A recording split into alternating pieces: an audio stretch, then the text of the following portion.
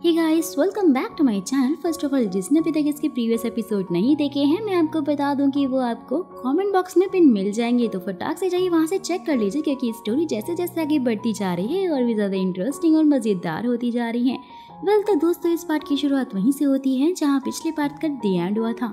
Next day Hsien hospital से छुट्टी लेकर योंग के घर में उसे वार्न करने के लिए चाहती है कि वो उसकी बहन को हर्ट करना छोड़ दे और उसका पीछा भी छोड़ दे। तो यौन उसे फोर्सफुली से सोफे पर लिटाकर बोलता है कि अगर मैं कुछ छोड़ूँगा तो मुझे कुछ मिलना भी तो चाहिए ना।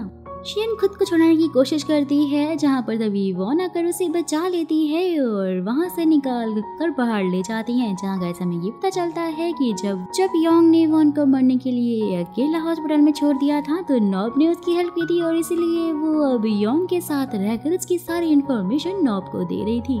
जैसे ही शियन घर पहुँचती है तो नौप उसे ज़ोर से हक करते हुए बोलता है कि ऐसा कुछ भी दोबारा मत करना जिससे ही तुम्हें नुकसान हो। यंग को मैं संभाल लूँगा, ये बोलते ही उसे फटाक से किस करने लगता है। शियन उसे जोरदार थप्पड़ मारते हुए कहती है कि, मेरी ड्यूटी केयर करने की तुम्हें कोई ज़रूरत नहीं है और जल्दी तुम्हारी माँ को ठीक करके मैं यहाँ से हमेशा के लिए चली जाऊँगी। नौब को उसकी बातों का काफ़ी बुरा लगता है और वो सारी रात शियन के घर के बाहर खड़ा होता है। जैसे ही सुबह शियन उसे देखती है तो जाने के लिए बोलती है, क्योंकि योंग ने उसके ऊपर नज़र जो रखी हुई थी। वेल तो फिर हॉस्पिटल पहुंचकर नॉब लॉयर को शियन की माँ के एक्सीडेंट की सच्चाई पता करने के लिए बोलता है। तो शियन बोलती है कि, मैं जानती हूँ कि सब कुछ तुम तो मुझे गलत साबित करने के लिए कर रहे हो। तो नॉब बोलता है कि, नहीं, ये सब कुछ तो मैं तुम्हें सिर्फ़ प्रोटेक्ट करने के लिए कर रहा हूँ। वहीं दूसरी तरफ़ वलाई नॉब को डिनर पर बुलाती है और योंग के साथ में मिलकर एक नाटक करती है, जिसमें योंग उसका गला पकड़ने लगता है, ताकि नॉब को ये लगने लग जाए कि योंग उसे फोर्स कर रहा है नॉब उसे वहाँ से घर लेकर जाता है और वहाँ वलाइशियन और योन की बहुत बुराइयाँ करती है। बोलती है कि दोनों मिलकर मुझे फंसा रहे हैं और तभी गाइस अचानक से नॉब को चक्कर आने लग जाते हैं। यानी कि उसने ड्रिंक में कुछ मिला दिया था, जिसके बाद वो बेड पर ले जाकर शियन से हेल्प का मैसेज डाल देती है और वो ऐसा इसलिए कर रही थी दोस्तों, क्योंकि उसने नॉब और शियन को हक करते और किस करते हुए जो देख लिया था। शियन जैसे ही घर पहुँचती है तो दोनों को वो तो ऐसी हालत में देखकर बहुत बुरा फील करती है। वहाँ से जाने लग जाती है। नॉप उसे देखकर फिर उसके पीछे जाता है और पूछता है कि, क्या तुम्हें कोई फ़र्क नहीं पड़ता? जब तुम्हें कोई फ़र्क नहीं पड़ता तो इतना हर्ट क्यों हो रही हो? तो शियन बोलकर चली जाती है कि, मेरी लाइफ से दूर चले जाओ और मैं तुम्हारे लिए कुछ भी फील नहीं करती हूँ। जिसके बाद वो नॉप को एक वीडियो देती है, यानी कि वॉन वलाई पर पहले से ही नज़र रखे हुए थी और उसने सारी हरकत उसकी रिकॉर्ड कर ली थी। वहीं योंग वलाई से पूरा का पूरा फार्मास्यूटिकल माँगता है, क्योंकि पहले वो लोग पार्टनर थे, लेकिन अब वो ज़बरदस्ती वलाई से पेपर पर साइन करा लेता है।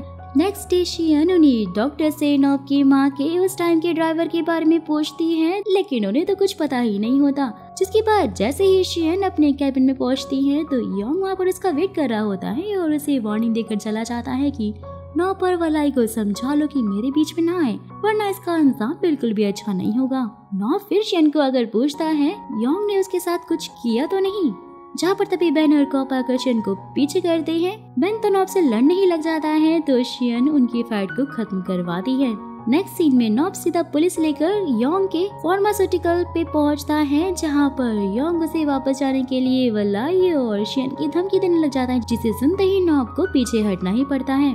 जहाँ पर कैसे में ये पता चलता है कि ये प्लान वल्लाई का था, जिसने की उसे ये सारी इन्फॉर्मेशन दी थी फार्मास्यूटिकल के बारे में, जिसके बाद फिर योंग नेक्स्ट डे वलाई के पास आकर उसे मारता है और उसकी वीडियो बनाकर शियन को भेज कर बोलता है कि अब इसने और नॉब ने तो हद पार ही कर दी है और अब मुझे कुछ न कुछ तो करना ही पड़ेगा, ये देखकर शियन नॉब से रिक्वेस्ट करती है कि वो योंग से कोई भी पंगा ना ले और उसको और उसकी बहन को अकेला छोड़ दे।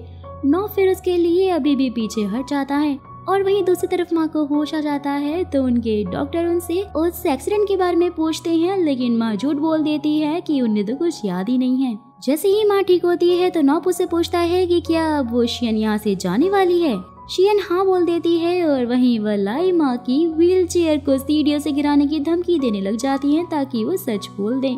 लेकिन शियन उन्हें आकर वहाँ से ले जाती है। वहीं दूसरी तरफ़ शियन को उसका ड्राइवर घर छोड़ने के लिए आता है नोब के कहने पर, जो कि उस टाइम नोब की माँ के साथ था। शियन को बताने लगता है कि मैं आपकी माँ की हेल्प के लिए जा रहा था, लेकिन माँ ने उन्हें रोक के जल्दी से चलने को कहा था। शियन फिर उस ड्राइवर को नॉब के पास लेकर जाती है और सब कुछ सुनकर नॉब को तो यकीन ही नहीं हो रहा होता है। और वहीं योंग शियन का घर पर वेट कर रहा होता है क्योंकि उसने वलाई से जो डील की थी कि अगर वो खुद को छुड़ाना चाहती है तो शियन को उसे देना होगा, जिसके लिए वलाई मान भी जाती है और शियन को योंग को सौंप देती है। यंग वहाँ पर शियन को अप्रोच कर रहा होता है, लेकिन शियन उस पर गन पॉइंट करने लगती है कि तभी नॉब राइट टाइम पर आकर शियन को बचा कर अपने घर पर ले जाता है। जहाँ पर शियन उसे खुश रहने का बोलती है तो नॉब उसे कहता है कि उसकी खुशी तो वो है और वो चाहता है कि वो उसे कभी भी दूर ना जाए। लाइफ में जो कुछ भी प्रॉब्लम चल रही है, वो दोनों मिलकर उसे सॉल्व कर लेंगे। साथ ही बोलता है कि मैं तुमसे बहुत प्यार करता हूँ और ये सब कुछ सुनकर तो शियन काफ़ी इमोशनल हो जाती है, जिसके बाद फिर दोनों ही एक दूसरे को किस करने लगते हैं और साथ में एक रोमांटिक नाइट को भी स्पेंड करते हैं। नेक्स्ट डे जैसे ही नौ पर्शियन दोनों हॉस्पिटल पहुँचते हैं, नौ अपने शन का हाथ पकड़ा हुआ होता है, जिसे देखकर वलाई तो काफ़ी जल भुन जाती है और इस बार वो पूरा प्लान बनाती है। शियन को योंग को देने का योंग फिर शियन को बेहोश करके, साथ में उसके कुछ गलत करने वाला होता है, लेकिन तभी अचानक से वलाई के अंदर की अच्छाई जाग जाती है और वो योंग का सर ही फोड़ कर वहाँ से शियन को लेकर बचाकर भाग जाती है। जैसे ही शियन को होश आता है तो वो समझ आती है कि वलाई ने ही उसकी हेल्प करी है। नेक्स्ट डे यंग फिर से वलाई को ब्लैकमेल कर रहा होता है, लेकिन इस बार उसका पासा उल्टा पड़ जाता है। वलाई उसकी एक क्लिप दिखाती है, जिसमें वो नॉब के उसी पार्टनर को मार रहा था, जिसने की सुसाइड किया था। और ये देखकर नॉब फिर उस पर हमला करने की सोचता है, लेकिन तभी वलाई उसके कंधे पर पेंसिल ही घुसा देती है और आखिर उसका पहला पेशा नर्स जो था। ये बात वो बहुत ही अच्छे से जानते थे कि कहाँ किसको मारने पर चोट लग सकती है, जिसके बाद वो तो यंग को ही हॉस्पिटल में एडमिट करवा देती है। साथ ही उसे ये भी धमकी देती है कि अब मुझसे और मेरी बहन से दूर रहना। योंग के ठीक होने के बाद नॉप उसे वॉर्न करके चला जाता है कि मेरे पास तुम्हारे खिलाफ बहुत सारे सबूत हैं तो तुम्हारे लिए यही अच्छा होगा कि अब तुम हम सबसे दूर रहो। योंग को ये सब कुछ सुन के काफ़ी गुस्सा आता है। वही वलाई नॉप और शियन को एक साथ देख नहीं पा रही होती और इसलिए वो नाटक करके शियन को वापस से घर बुला लेती है। बोलती है कि योंग उसे काफ़ी हर्ट कर रहा है। शियन भी उसके नाटक पर यकीन करके घर वापस आ जाती है, जहाँ वलाई उसे झूठ बोलती है कि वो प्रेग्नेंट है और ये बच्चा किसी और का नहीं, बल्कि नॉब का है। शियन तो ये सुनकर बहुत हर्ट हो जाती है और उसकी बातों पर यकीन कर लेती है फिर से। नेक्स्ट डे वाला एक झूठी रिपोर्ट नॉब को दिखाकर कहती है। बोलती है कि शियन चाहती है कि तुम मुझसे शादी करके इस बच्चे का ध्यान रखो और ये सुनकर नॉब तो शियन से जाकर पूछता है जिसके बाद अपने दिल को हर्ट करके ना चाहती हुए भी उसे हाँ बोलना पड़ता है। ये सब कुछ सुनकर नॉब काफ़ी ज़्यादा अपसेट होकर वलाई की केयर करने लगता है। नेक्स्ट सीन में शियन बेन के साथ में बैठकर रोने लग जाती है क्योंकि वो भी नॉब से बहुत ज़्यादा प्यार जो करती थी। बेन फिर उसको संभालता है और ये देखकर नॉब तो उसे गलत ही समझ लेता है। धीरे धीरे दिन बीतते जाते हैं और उसके बाद नॉब वलाई को अपने प्यार में फंसा कर अपनी सारी प्रॉपर्टी वापस ले लेता है।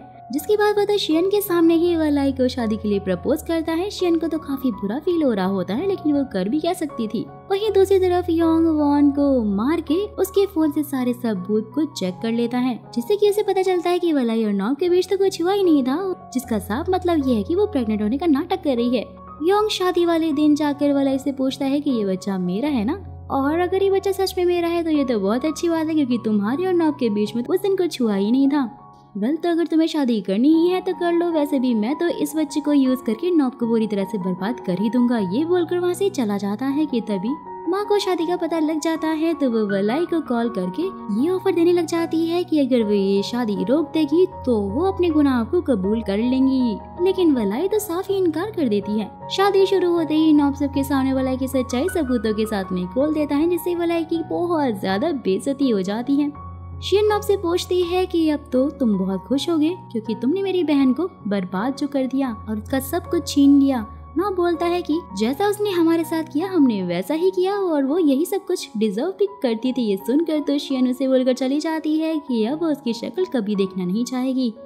वहीं दूसरी तरफ़ वल्लाई माँ के पास जाकर क्राइम एक्सेप्ट करने को बोलती है लेकिन तो उसकी माँ फटाक से खड़े होते हुए वलाई को मार के जलाने लगती है और वलाई से कहती है कि जैसे वो डॉक्टर मरा था ना, अब तू भी वैसे ही मरेगी।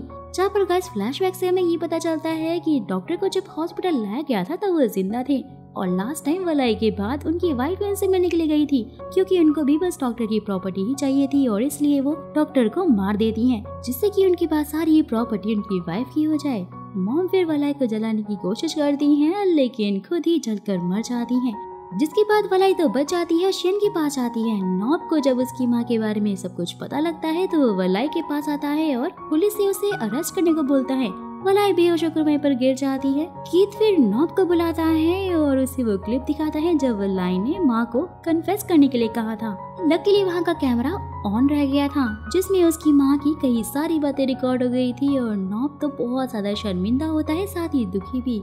नेक्स्ट डे फिर रेड शियन को वलय की कंडीशन बता रही होती है कि वो मेंटली बहुत ज़्यादा डिस्टर्ब हो चुकी है और सही होने में उसे काफ़ी वक्त भी लगेगा। नॉब शियन से जाकर माफ़ी माँगता है, लेकिन न वो उसे वलय की केयर की रिस्पॉन्सिबिलिटी देकर चली जाती है।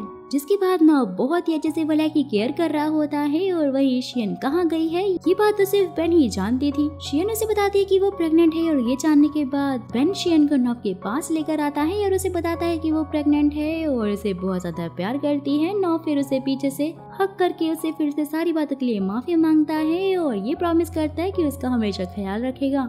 शियन ने भी उसे माफ़ कर दिया था। नेक्स्ट डे वाला भी ठीक होकर उसे माफ़ी मांगती है, जिसके बाद अब हॉस्पिटल का सीईओ नॉप को बना दिया जाता है और पूरा हॉस्पिटल शियन ही हैंडल कर रही होती है और डॉक्टर प्रकोप की फ़ोटो से बोलती है कि वो उसे सबसे अच्छा हॉस्पिटल बनाएगी। वहीं दूसरी तरफ़ वलाई ने भी योंग की हालत पूरी लाइफ के लिए खराब कर दी थी। नॉब उसे बताता है कि वलाई तुम्हारे बच्चे की माँ बनने वाली है, लेकिन वो उसे एक अच्छा इंसान बनाएगी और हमेशा ही उसे तुमसे दूर रखेगी। सो गाइस यहीं पर इस ड्रामा की हैप्पी एंडिंग होती है, जो कि मुझे तो बहुत ही अच्छी लगी और अगर आपको भी ये ड्रामा और साथ ही मेरा एक्सप्लेनेशन अच्छा लगा तो एक लाइक करके नाइस वक्त ज़रूर लिख दीजिएगा और साथ ही चैनल को सब्सक्राइब करना मत भूलिएगा, ताकि ऐसी इंटरेस्टिंग वीडियो आपसे नेक्स्ट टाइम मिस ना हो जाए।